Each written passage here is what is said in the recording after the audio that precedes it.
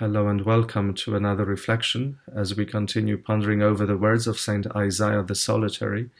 And today I would like to focus a bit on his words on prayer and on our need to be watchful and to guard our heart at all times. He writes, The demons cunningly withdraw for a time in the hope that we will cease to guard our heart, thinking we have now attained peace. Uh, he is giving us a warning that the call of the gospel uh, is a constant one. We don't really have a choice. Uh, it's not about being watchful for an hour or half an hour. Uh, it's about changing our attitudes, changing our whole way of being uh, to that of being attentive to what is taking place within us, uh, to keep guard over ourselves. He continues, I entreat you not to leave your heart unguarded so long as you are in the body. Up to his last breath, he cannot know what passion will attack him. So long as he breathes, therefore, he must not leave his heart unguarded, but should at every moment pray to God for his help and mercy. Uh, constant prayer. Uh, sometimes when we hear that call to unceasing prayer, uh, we might be forgiven for thinking, well, that's surely not for me. Uh, it's mission impossible. How can I continue to pray at all times when I have to work, uh, when I have to do so many things during the day? Uh, so often we might find ourselves saying, Well, I don't have time to pray. Now, if we say that to ourselves, I don't have time to pray, uh, the Catechism reminds us that we haven't yet understood what prayer is about. Uh, because if we say, I don't have time to pray, the presumption is prayer is one of those things that we do in life, uh, one of the many things that we have to do. And that means uh, once we go through the priorities, through the essential things that we have to get on with during our day, sometimes we do run out of time. And we might end up continually saying, Well, I've been so busy, I've done this, I've done that, I didn't have time to pray. Uh, so, what is the Lord uh, teaching us uh, through the church? Well, the church is reminding us that prayer uh, is about your whole attitude and about your way of being. Uh, being spiritual doesn't mean that you spend a lot of time in the chapel.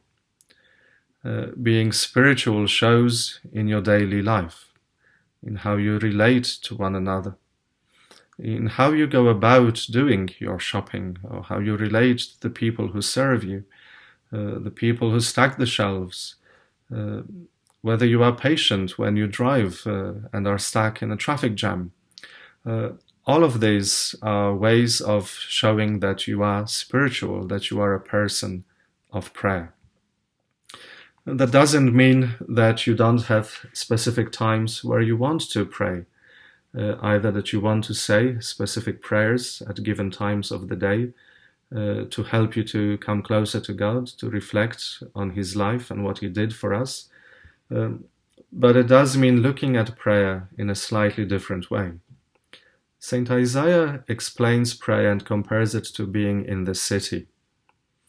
Uh, the city, I presume, is an image of security, image of safety, uh, image of strength, support. Uh, and he wants us to remain in that city. He wants us to become aware that we need to pray, that without prayer, without ourselves putting ourselves in the presence of God and becoming more aware of God's presence within us and how God is present to us at each moment of our day, uh, then we do open ourselves up uh, to all sorts of things uh, that lead us away from the Lord.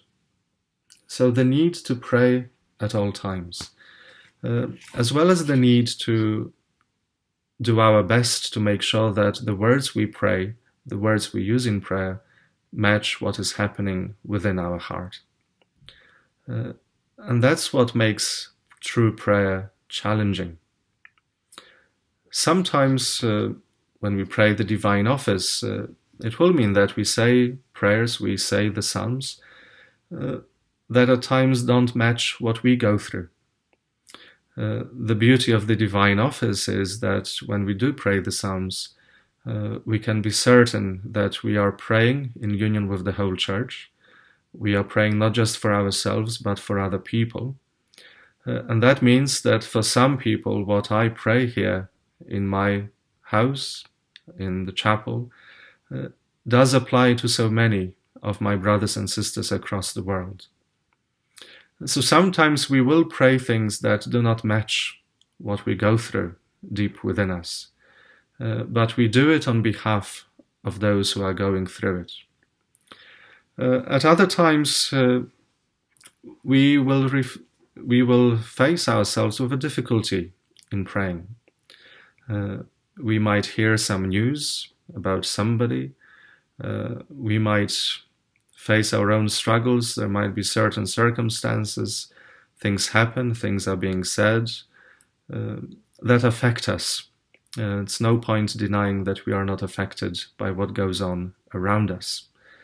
Uh, and all of this has an impact on how we feel about prayer, or apart from the feelings, uh, the actual ability to pray.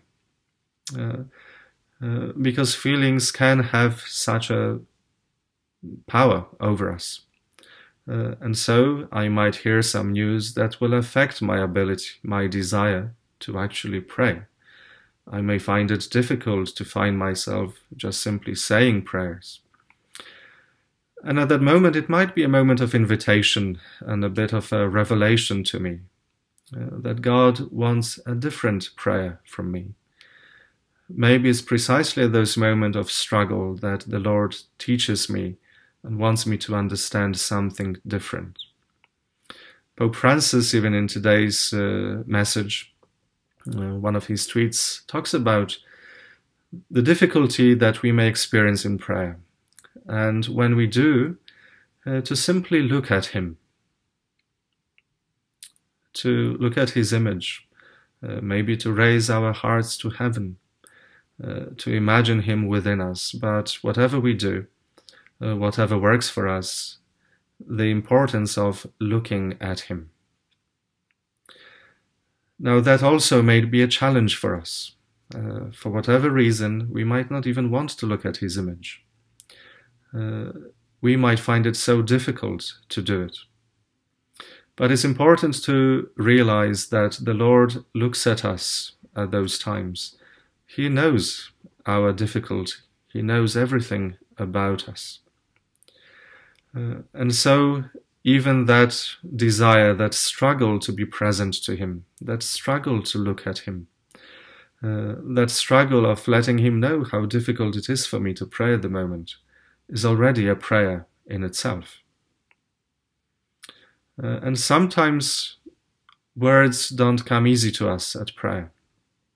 Sometimes, when we are really affected by something, uh, all we can do is maybe to be silent, uh, maybe to allow ourselves to feel the pain and the hurt. Uh, maybe sometimes we are just reduced to tears. Uh, and whatever happens to us, it's important to realize, and that's the message of Saint Isaiah and of the church, is that whether it's through tears, whether it's that pain, uh, this is the real prayer that we are making and offering to the Lord at that moment. Uh, so let's continue to pray for the courage to live that gospel. St. Isaiah reminds us of being watchful over our heart, uh, to continue to pray, to never cease, to never allow any sense of peace that you have to stop you from prayer, but to continue because you never know when the hour, when the moment will come, uh, that something happens to you, when the Lord wants to visit you in a special way. Uh, so be open to Him through prayer. And don't be discouraged. And even if the only prayer you can make today is by looking up towards the heavens or looking at the crucifix, and even if no words come out of you, you are praying. And that's the main point for us to hold on to today.